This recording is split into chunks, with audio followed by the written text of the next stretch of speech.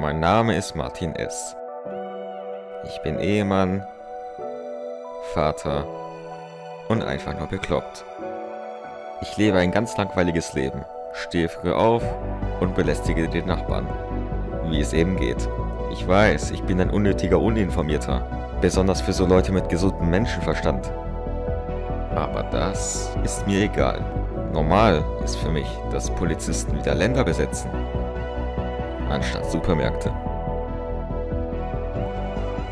Dass nicht immer nur Ganoven ins Wettcasino 4000 kommen, sondern endlich auch mal ich.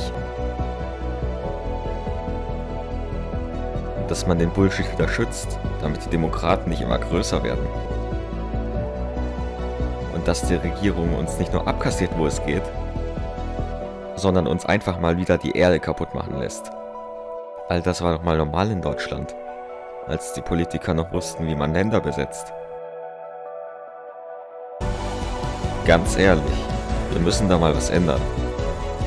Und ich denke, die Zeit ist jetzt. Wählen Sie am 26. September die Alternative fürs Denken. Für Abschaum, aber normal.